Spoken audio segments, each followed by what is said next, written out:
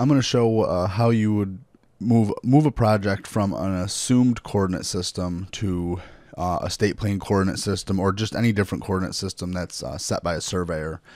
It's pretty simple to do in Business Center, but it's a really crucial uh, step. You know, when you're getting a site aligned and in the in the correct coordinate system to maybe like in this case, it's matching a, a, a hired GC surveyor who's transforming all the information into a new in, into state plane coordinate system to make it easier for them.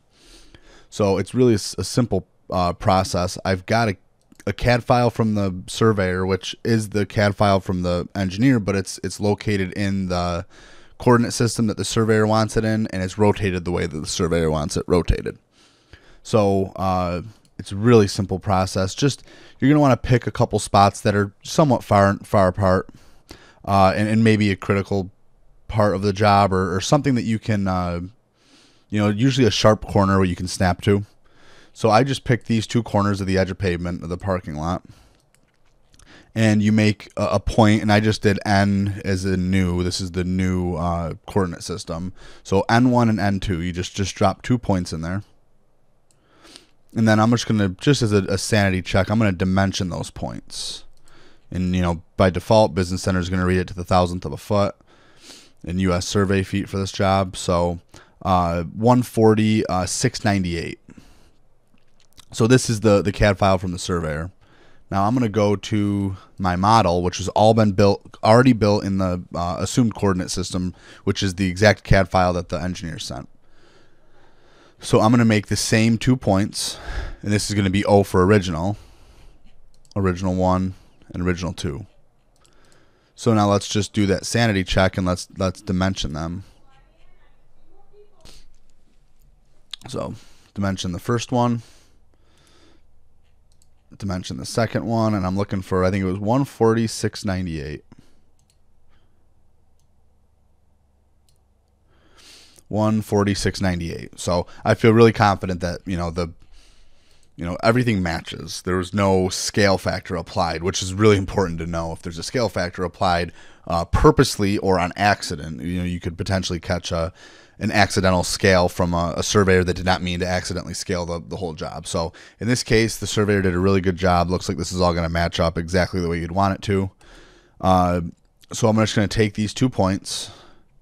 What i did was i just uh, i control selected both of them i went up to my export menu I just exported them as VCL just to exchange it between the two the two files. So uh, I, I did that and then I brought it into my model file, which which is this one right here.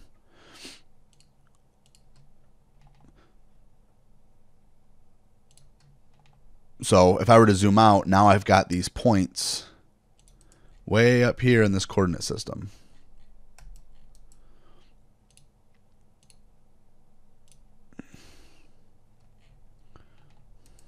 So the next step really is pretty easy.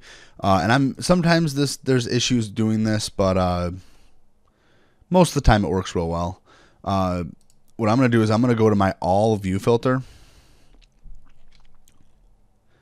And I'm going to select all of this, all of my model. This is going to grab my background images, my georeferenced images, all the line work. Now, technically, you can't move a surface, but my surfaces are always built up of Business Center uh, features. So it's going to bring the features, and it's which is in turn going to bring the surface. I may have to rebuild it if it's set to by user.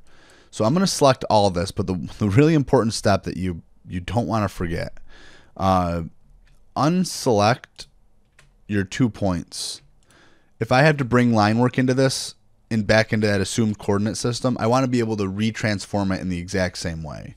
Uh, so make sure you deselect those and if I zoom extents, I definitely don't want to select those points up there, the new points.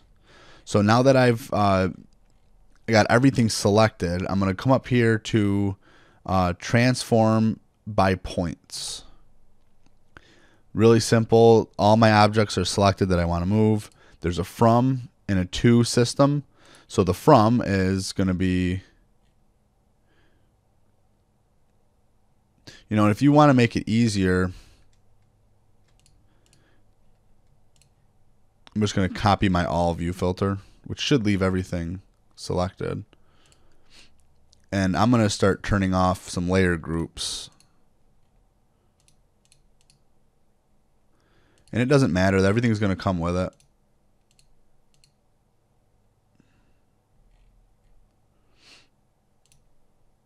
So I'm st- I still have 813 selected, so my from is going to be from that point to that point. My to, I'm just going to double click my middle mouse button, zoom extents. I'm going to zoom in. And my to is going to be from here to here. So there's a rotation on that. Scale is 1.00000. That's perfect. That means that really all that says is that the the same CAD file was used in the from and the two points. That will not always be perfect depending on how you arrive at these different points. Uh, you know, most of the time you're gonna you're gonna want to leave it. It just depends if you're gonna want to just force that to be one, and then accept the fact that it's not going to be rotated or it's not going to be moved perfectly. Uh, on one of those points it's going to hold. Uh, in this case, it works out perfect. Uh, not definitely not a 3D move. So uh, we want everything to move with the same the same elevation. So just gonna hit OK.